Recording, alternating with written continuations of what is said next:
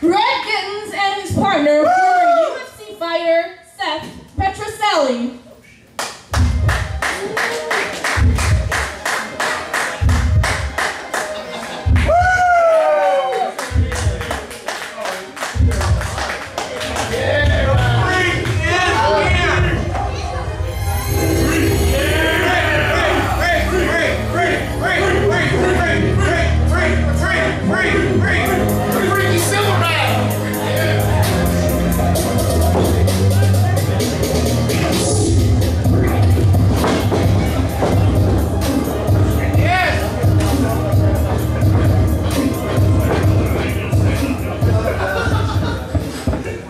Hey guys. Hey guys, here.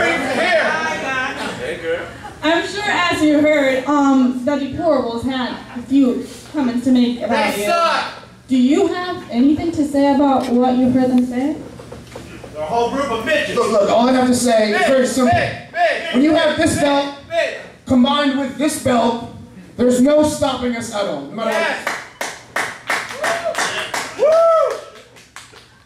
You know, first I gotta say, it feels amazing to be right back here at I Believe in Wrestling.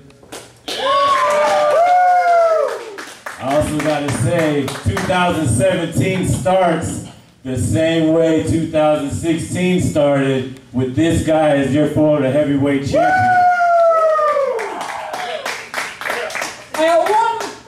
But I digress, because tonight I have the best backup I could get. Yes. in the silverback Seth Petruzelli. Going off of that, I was going to ask you, I know that you guys are missing a partner to work with. What are you looking for in this mystery person? Uh-oh. Listen, they're a big team. There's no doubt about it. They got some size on them. We got some size too, I'm not gonna lie, but when we had to look for a partner, we had to look for somebody that would match their size. We got the biggest, the baddest wrestler and partner that you can ever imagine. Just wait. Is this still a secret? I don't It's want still to a wait. secret, Come no, but you will know as soon as he comes in here because you can't miss him. The size of him. Well, then we're looking forward for it. We can't wait. Can't wait. Come on. Anything else you guys would like to add? Or will we see you at the main event? Do you have a boyfriend?